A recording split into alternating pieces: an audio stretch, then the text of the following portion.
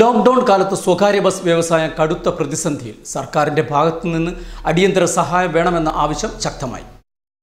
സംസ്ഥാനത്താകെയുള്ള സ്വകാര്യ ബസ്സുകൾ ഒരു മാസത്തിലേറെയായി നിശ്ചലമായിരിക്കുകയാണ്. ബസ് സ്റ്റാൻഡിലും റോഡ് അരികിലുമായി കിടക്കുന്ന ബസ്സുകൾ നേരെയാക്കാൻ തന്നെ ഒരു ലക്ഷത്തിലേറെ രൂപ വേണ്ടിവരും. ഇതര മേഖലയിലുള്ളവർക്കെല്ലാം സഹായം കൊടുക്കുമ്പോൾ ബസ് ഉടമകളെ സർക്കാർ തിരിഞ്ഞു നോക്കുന്നില്ലെന്ന് ബസ് ഉടമസ്ഥ സംഘം നേതാവ് കെ കെ ഗോപാലൻ നമ്പ്യാർ പറഞ്ഞു. മെയ് മൂന്ന് വരെയാണ് ലോക്ക്ഡൌൺ നീട്ടിയതെങ്കിലും ഇത് കഴിഞ്ഞാലും ബസ്സുകൾക്ക് സർവീസ് നടത്താൻ കഴിയുമോ എന്ന കാര്യം സംശയമാണ്. പുതിയ തീരുമാനം അനുസരിച്ച് ഒരു സീറ്റിൽ ഒരാളെ മാത്രമേ അനുവദിക്കാൻ പാടുള്ളൂ. ഇതനുസരിച്ചാൽ ഒരു ബസ്സിൽ ഇരുപതിൽ താഴെ ആളുകളെ മാത്രമേ കൊണ്ടുപോകാൻ പാടുള്ളൂ. ഇത് വലിയ പ്രതിസന്ധി സൃഷ്ടിക്കും. ഇക്കാര്യത്തിൽ അടിയന്തര സാമ്പത്തിക സഹായം ലഭ്യമാക്കണം. ഇൻഷുറൻസ് പ്രീമിയവും നികുതിയും ഒഴിവാക്കി തരാൻ അധികൃതർ തയ്യാറാകണമെന്ന് ഗോപാലൻ നമ്പ്യാർ ആവശ്യപ്പെട്ടു.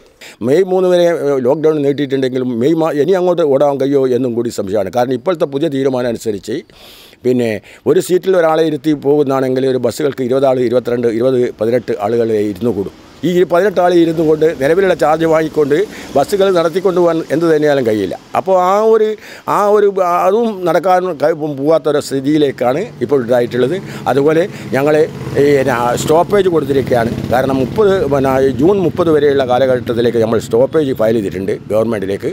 പിന്നെ അല്ലാതെ ബസ്സുകൾ ഇനി നടത്തിക്കൊണ്ട് പോകണമെങ്കിൽ ഗവൺമെന്റ് അടിയന്തരമായിട്ട് ഇടപെട്ട് പിന്നെ ഒരു സാമ്പത്തിക പാക്കേജ് ഒരു സാമ്പത്തിക സഹായ പാക്കേജ് ഉണ്ടാക്കണമെന്നും കെ- ഗവൺമെന്റ് മറ്റ് പിന്നെ കുടുംബശ്രീക്ക് കൊടുക്കുന്ന പോലെ തന്നെ ഒരു പലിശരഹിത വായ്പ പിന്നെ ബസ് കൊടുക്കുവാൻ തയ്യാറാവണമെന്നാണ് ഞങ്ങൾക്ക് പറയാനുള്ളത്.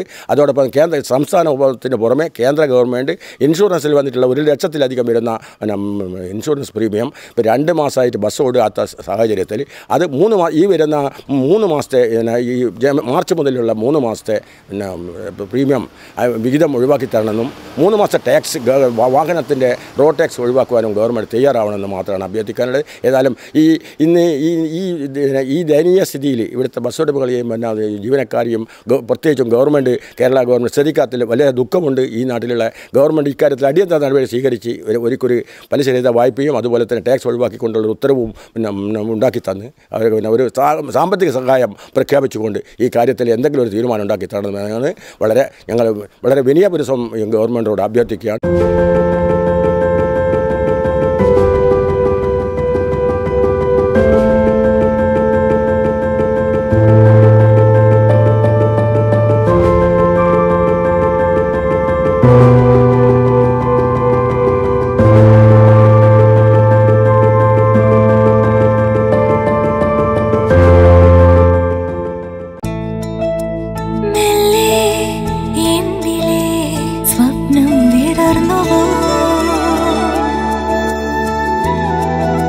ചിറകാർന്ന സ്വപ്നങ്ങൾ അഴകായി വിടർന്നുവോ